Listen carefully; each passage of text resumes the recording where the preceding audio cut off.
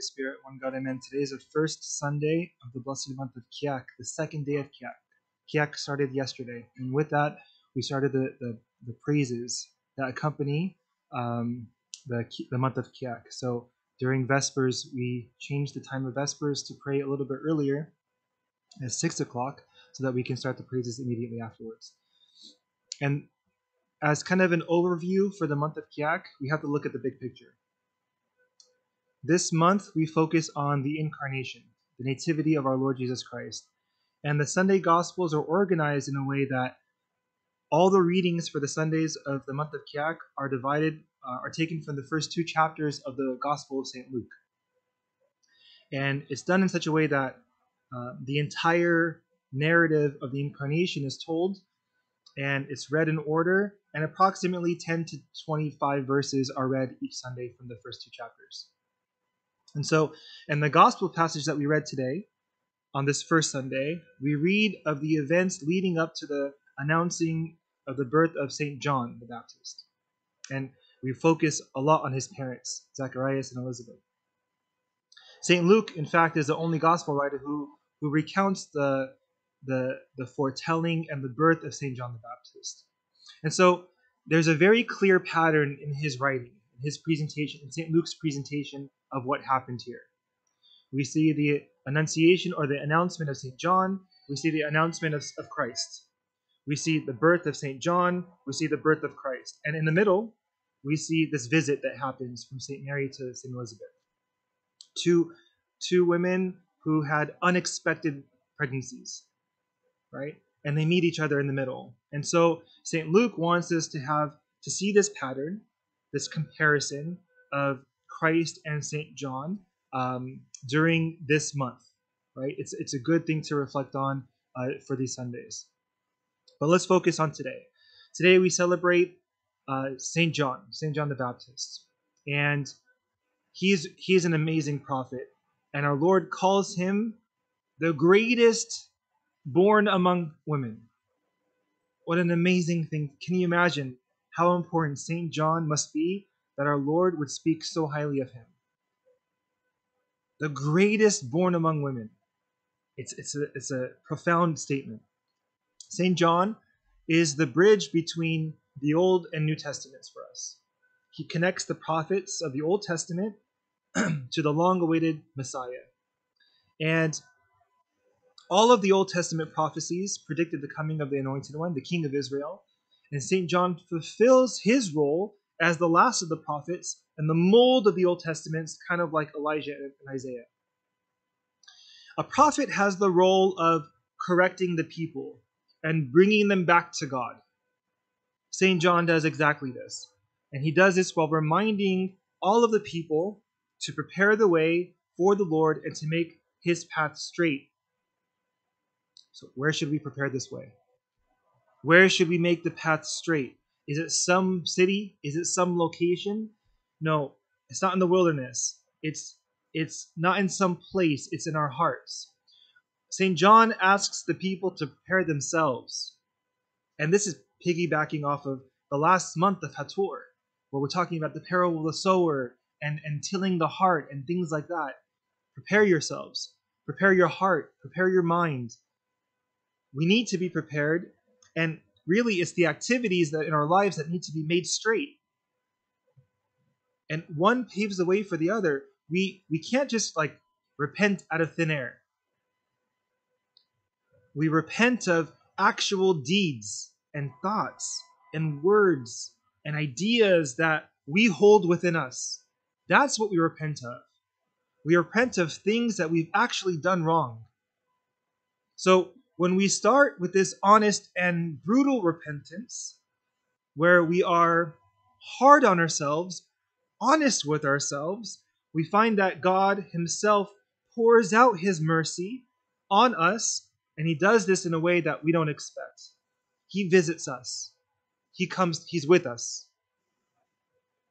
We're preparing a way and making straight a path so that He can come and visit us and dwell within us. Our Lord wants to dwell within us. St. John tells us that God can't get to us unless we first clear the path for him to walk and to find us. And he reminds us that getting to God, or maybe it's better said, allowing God to get to us, is really pretty straightforward. The birth of St. John is, is, is, a, is a marvelous uh, event filled with miracles that we hear in the gospel. And we're told that there was this priest, uh, Zacharias, who had a wife named St. Elizabeth, who, and St. Luke uh, is writing on, when he's writing this account, he says, he describes them very, very deeply. And I hope that we don't pass over this verse. He says that these parents, they were both righteous before God, walking in all the commandments and ordinances of the Lord blamelessly. It's so important.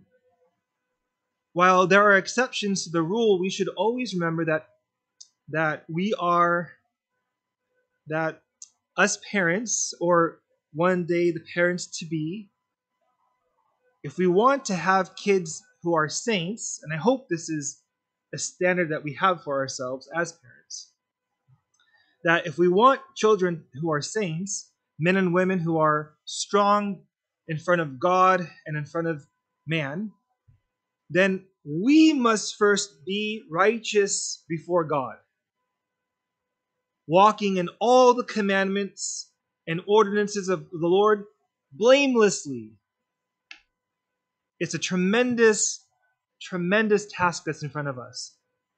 One of the amazing verses that jumped out off the page when I was reading, and preparing, was the words of Archangel Gabriel to Zacharias, the father of St. John. He says to him, And you will have joy and gladness, and many will rejoice at his birth, for he will be great before the Lord not in front of man.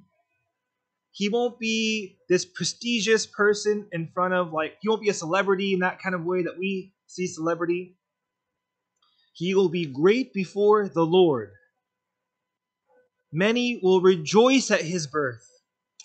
Today we rejoice over the birth of children, and it's very natural. We have these showers and these elaborate, you know, reveals and things like that that happen and when a child is on its way, it's an amazing experience. What Archangel Gabriel mentions is a little bit different, though. He says that people rejoice over the birth of St. John because he will be great before the Lord. And that's exactly why we celebrate his birth and we think about his annunciation. St. John the Baptist was righteous and holy before God. I'm trying to stress that point. I hope that we're we're understanding. I'm trying to highlight that point that he was holy and righteous before God, before the Lord.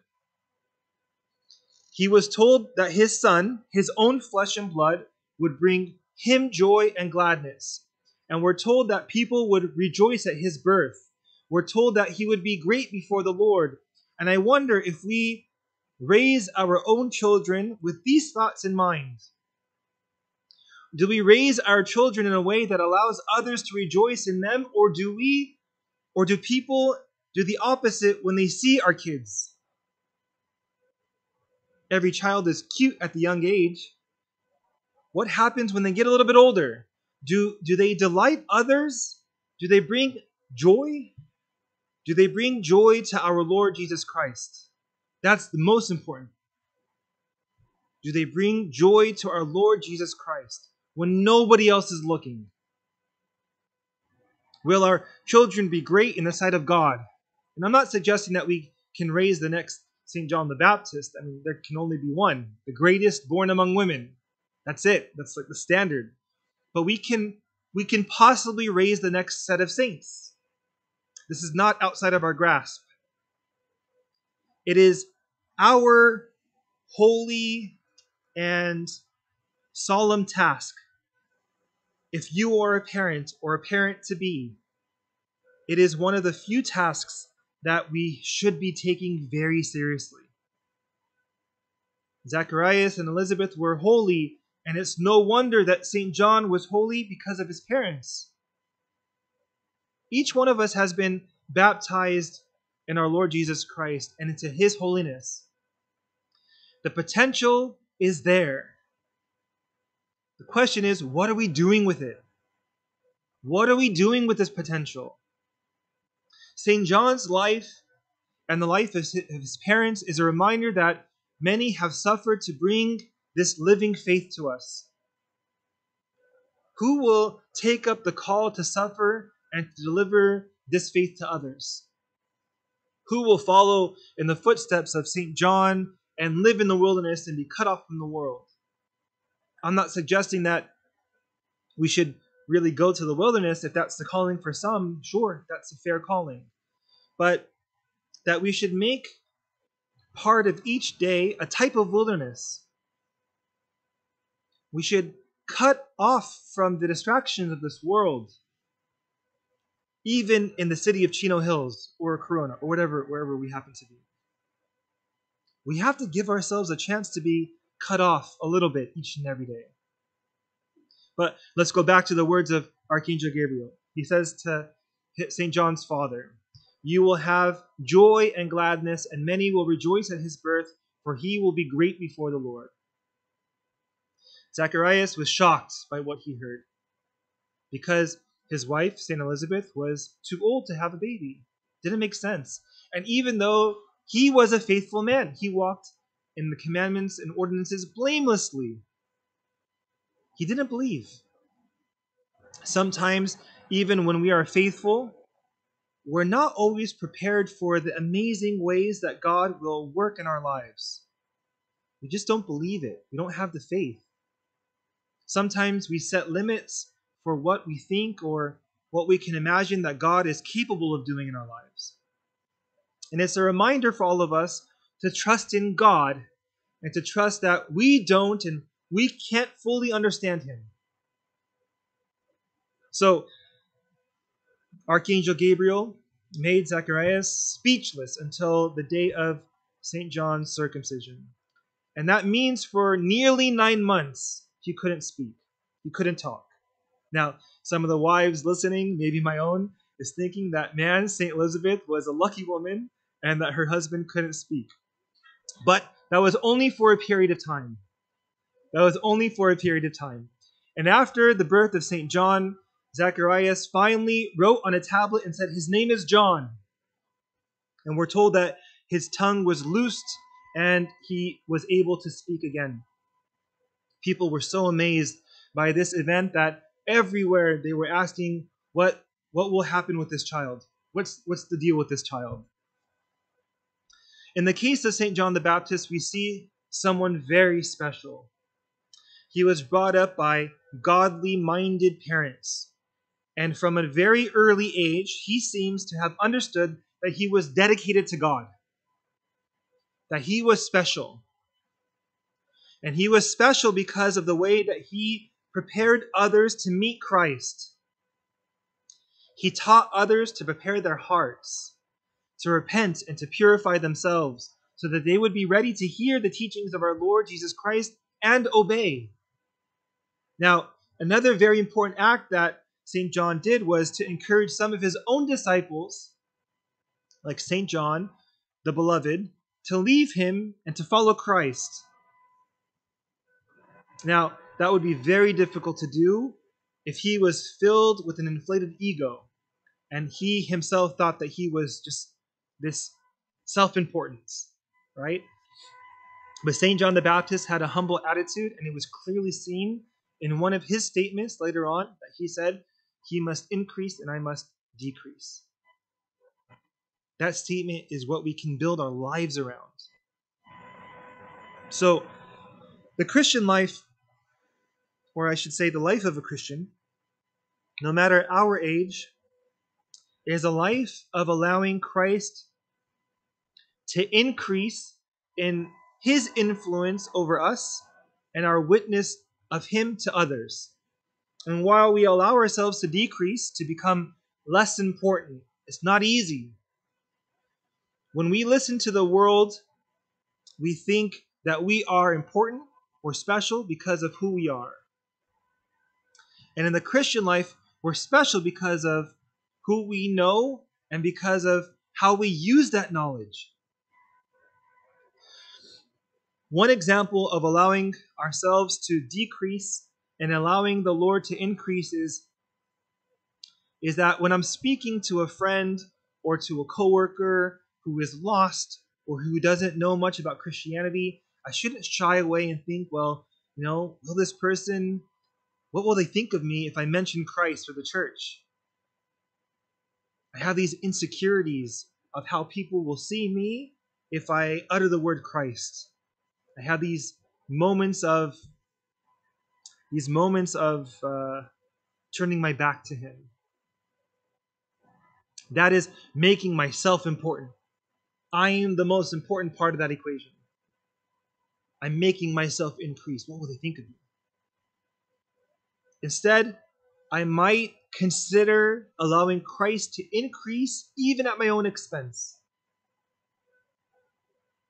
I might think to myself, it doesn't matter how I might appear to others if I don't appear loyal in the eyes of God.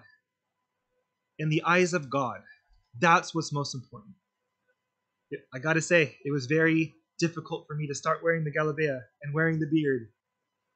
But I see the blessings. I truly see the blessings of what comes of that. You become less important sure, eyes are on you all the time, right? You can't go to Target without a bunch of people looking you up and down and, and like, just what are you? What's going on over there? But it opens up a lot of conversation. A lot opens up a lot of conversation about Christ and who He is, and why do I wear this cross around my neck? And sure, people may have their own conclusions when they come and see me, but it is truly a blessing that I get to live out these words that I get to decrease and our Lord increases. It doesn't really matter what I look like. It doesn't matter that I have the beard on. It doesn't matter that I'm wearing the galabea. It doesn't matter. It really doesn't matter. Right? But as long as I can allow Christ to increase in my life, what a blessing. And then you see the blessings in that life. This is the attitude of St. John the Baptist had. Sure, he was talented, he was a charismatic figure, a great preacher, he was an ascetic. But all those talents would be nothing, and we would never talk about him at all if he didn't love Christ more than he loved himself. I pray that our Lord will bless will bless us with hearts like the heart of St. John. And I ask that we pray that we allow ourselves and our desires to always be shrinking so that the Lord might always be growing larger and larger in our lives. May the miraculous and powerful life of St. John the Baptist inspire us and, and prepare our hearts for our Lord through our daily struggle, and may future generations rejoice when they hear the stories of our lives and our faith in our Lord Jesus Christ. And glory be to God forever. Amen. We say.